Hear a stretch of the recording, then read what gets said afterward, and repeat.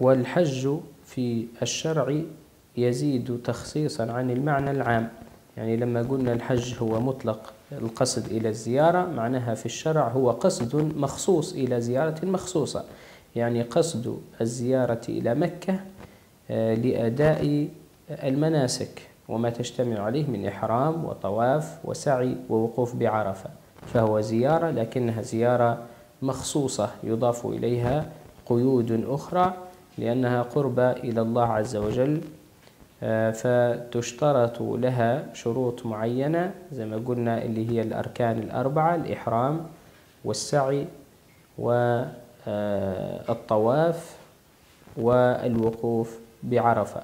هذه المسائل مع بعضها لابد أن تتوفر وهي أركان لا يمكن آه، الاستغناء عنها ولا جبرها.